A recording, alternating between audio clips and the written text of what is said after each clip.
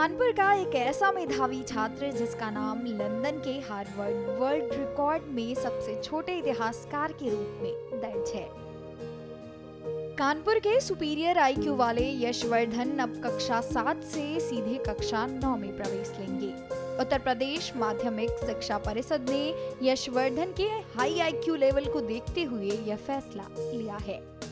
जिला विद्यालय परीक्षा अधिकारी ने बताया कि यश अब जिस स्कूल में चाहें वह एडमिशन ले सकते हैं।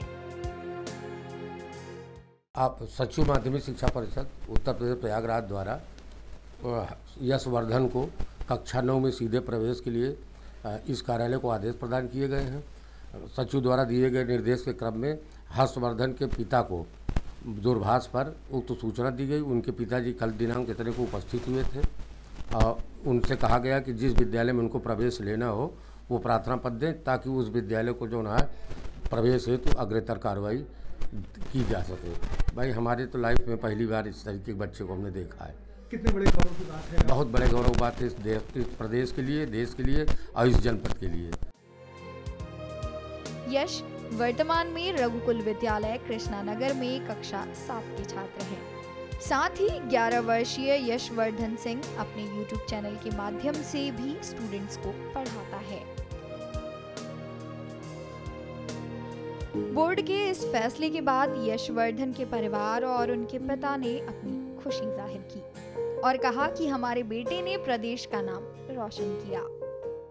में, इनमें शुरू से ही मैं एक विलक्षण प्रतिभा में महसूस कर रहा था और मैं देखता था कि इनकी जो है, जो स्मरण शक्ति है और किसी चीज़ को क्लैरिफाई करने का, जो एक्सप्लेनेशन एक्सप्लेन करने का जो एक तौर तरीका है, बहुत अलग था।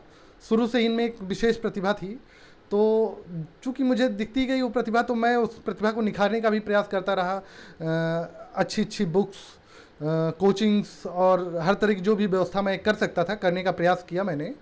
और जब ये आज ये स्थिति में आ गए कि जो है ये सिविल सर्विस की तैयारी करने वाले हमारे बच्चों को एन डी की तैयारी करने वाले बच्चों को जब ये पढ़ाने लगे तो निश्चित तौर पे बहुत अच्छा लगता है कि इतनी कम एज में बहुत अच्छा कार्य कर रहे हैं और हम चाहते थे कि एक कुछ ऐसी व्यवस्थाएँ, ऐसी प्रतिभाओं को हम लोग विकसित करें, जो कम से कम देश को जैसे आदरणीय प्रधानमंत्री मोदी जी देश देश को विश्वगुरु बनाने की बात कर रहे हैं तो जब तक हमारे पास प्रतिभाएँ हम तैयार नहीं करेंगे, तब तक विश्वगुरु कैसे बनेगा?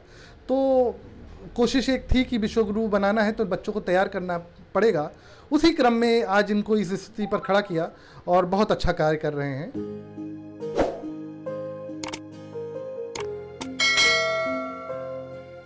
यशवर्धन सिंह ने कहा कि ये खुशी की बात है कि मुझे अब सातवीं से सीधे नौवीं में पढ़ने का मौका मिला है, जो मैंने कभी नहीं सोचा था।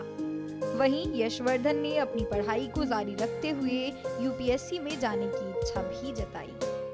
टाइम टू टाइम मेरा जो स्टडीज़ था, उसका जो दिशा है, वो बदलती गई बदलती गई और फिर आखिरकार आके सिविल सर्विसेज़ में जाके रुकी।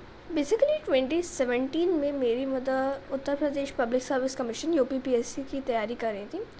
और उस टाइम मेरा क्वेश्चनिंग से शुरू हुआ कि मम्मा ये चीज़ें क्या हैं, ये चीज़ें क्या हैं, ये चीज़ें क्या हैं।